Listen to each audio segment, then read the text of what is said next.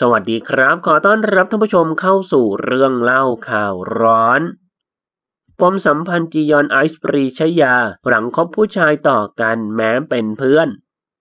เรียกได้ว่าก่อนหน้านี้เป็นเรื่องราวดราม่าสำหรับนักแสดงสาวสายฮามากๆ อย่างซอจียอน ที่กว่าจะได้คบกับหนุ่มนักร้องเสียงดีที่ใครหลายคนชื่นชอบอย่างฮั่นเดอะสตาร์นั้นไม่ใช่เรื่องง่ายเลย โดยหลังการเปิดใจของนางเอกร้อยล้านไอซ์ปรีชยา ว่าเสียความรู้สึกกับเพื่อนสนิทอย่างซอจียอนนิดหน่อย จากกรณีออกมายอมรับว่ากำลังคุยคุยอยู่กับฮั่นอิสริยะ ในช่วงรอยต่อระหว่างตนกับฮั่นกำลังอยู่จุดลุ้น return โดยไอซ์ออกมาเปิดดราม่าบอกงงสุดว่าจียอนไปสนิทกับฮั่นตอนไหน พร้อมตอบตรงเวอร์ถึงกรณีลบภาพคู่ระหว่างตนเองกับฮั่นและภาพคู่กับจียอนออกจาก IG เป็นเพราะอะไรที่เราเก็บเอาไว้ใน IG มันเป็นเรื่องของความรู้สึกมากกว่า ว่าเราอยากเห็นหรือไม่อยากเห็น ซึ่งทางจียอนก็ออกมา clear แบบ ซึ่งทางจียอนก็ออกมา clear ปัดแย่งฮั่นจากไอซ์เพราะผู้ชายบอกสดเองส่วนตัวไม่ได้สนิทกับไอซ์งงมากที่อีกฝ่ายพูดแบบนั้น โดยเจ้าตัวบอกว่าจริง ๆ หนูก็งงเหมือน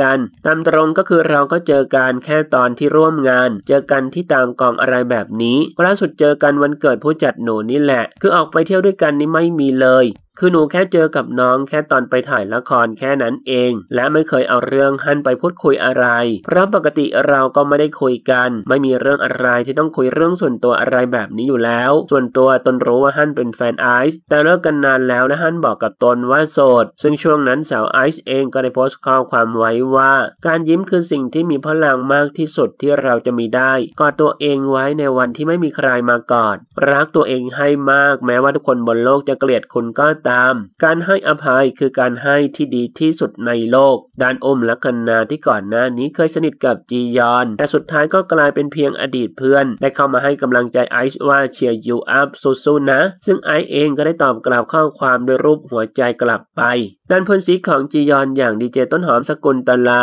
ก็ได้เข้าไปในไอจีของจียอนและตอบกลับคนที่บอกว่าจียอนไม่ควรกินของเก่าเพื่อนว่า เป็นแฟนคลับจีต้องรู้สิว่าใครเป็นเพื่อนสนิทจีจริง งานนี้บอกเลยว่าแม้จะดูเหมือนความสัมพันธ์สาวจียอนและสาวไอจะจบไม่สวยนัก แต่ทั้งคู่ก็แยกทางกันไปใช้ชีวิตตามเส้นทางของตัวเองท่านผู้ชมนะครับ มีความคิดเห็นอย่างไรกับเรื่องนี้ลองแสดงความคิดเห็นกันเข้ามาดูนะครับ